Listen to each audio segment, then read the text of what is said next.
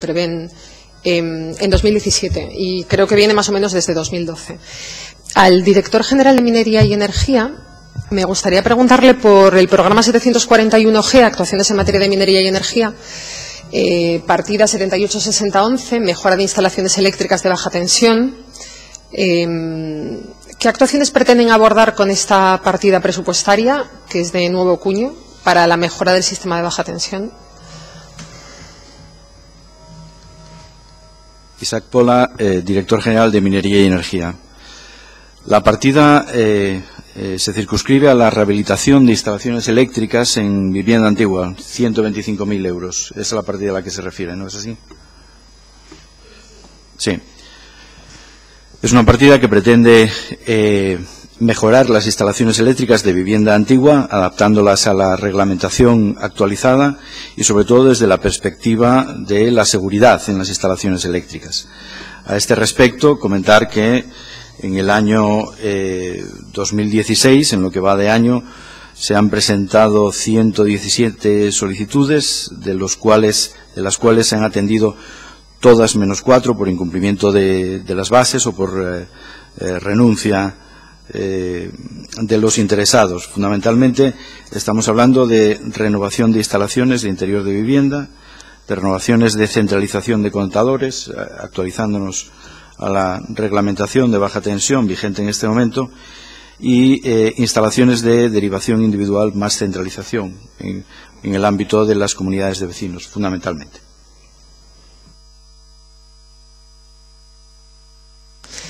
Igualmente quería preguntarle qué actuaciones tienen intención de acometer con la partida 776025, eficiencia energética y energías renovables, que se recortan un 10%, eh, pasando a 925.000 euros en este proyecto.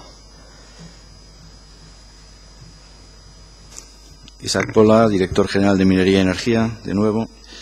Es una convocatoria pública de ayudas para empresas privadas en materia de empresas privadas, incluidas las empresas de servicios energéticos, en materia de energías renovables y eficiencia energética. Es continuación de una línea de ayudas que ya veníamos eh, aplicando desde el año 2014 y fundamentalmente en los siguientes ámbitos. En lo referido a energías renovables, eh, desarrollo de instalaciones de biomasa, de solar fotovoltaica aislada, de geotermia, mini hidráulica o mini eólica, y en el ámbito de la eficiencia energética, de auditorías energéticas, implantación de mejores tecnologías eh, disponibles en el ámbito de la eficiencia energética, mejora de la eficiencia energética en instalaciones térmicas de edificios ya existentes y eh, eh, también la instalación de sistemas de contabilización individual de consumos en instalaciones térmicas centralizadas de conformidad con lo dispuesto en la Directiva Europea de Eficiencia Energética. Disculpe, porque no le entendí bien al principio. Me habló que, va dirigida a empresas. A empresas, a empresas privadas, incluidas las empresas de servicios energéticos. Quería comentarle, no, sé si exactamente eh, iría marcado en, bueno, bajo su competencia. Para el año 2018 se ha de cumplir el objetivo europeo de eficiencia energética que en edificios públicos. Yo le quería preguntar si el gobierno que, que actuaciones tiene pensado acometer en este sentido y en qué medidas ha avanzado en, esta línea, porque salvo proyectos puntuales en el, en el campus de Mieres, no nos parece haber visto otras actuaciones que tengan, eh, que contemplen decididamente eh, esta cuestión.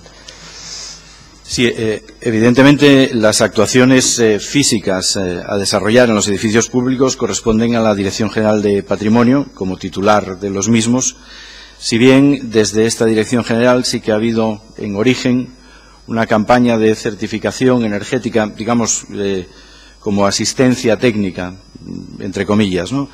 Eh, una campaña de certificación energética de, los edificios públicos más significativos, en particular los de, mayor afluencia pública, los edificios de las consejerías y demás. Pero, lógicamente, la ejecución de las eh, actuaciones de mejora en eficiencia energética corresponde a la Dirección General de Patrimonio eh, como titular y propietario de los, eh, de los edificios. Por lo tanto, entiendo que ustedes han participado con esa campaña de certificación energética de un objetivo que se supone eh, se pretende cumplir en el año 2018, ¿verdad? Eso es. Eh, además, eh, se tiene muy presente también lo dispuesto en la Directiva de Eficiencia Energética al respecto del carácter ejemplificante en esta materia de las actuaciones de la Administración. De acuerdo.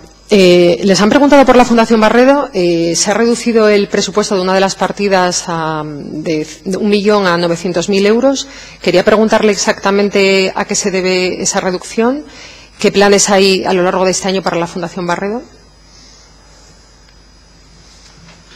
Sí, la reducción viene, eh, como saben, la partida de inversión para la Fundación Barredo, principalmente está destinada en una parte muy significativa a la devolución de los eh, préstamos que en su día se formalizaron para la financiación de las infraestructuras de investigación de la Fundación, fundamentalmente en sus centros de eh, San Pedro de Anes en Siero y de, Mieres.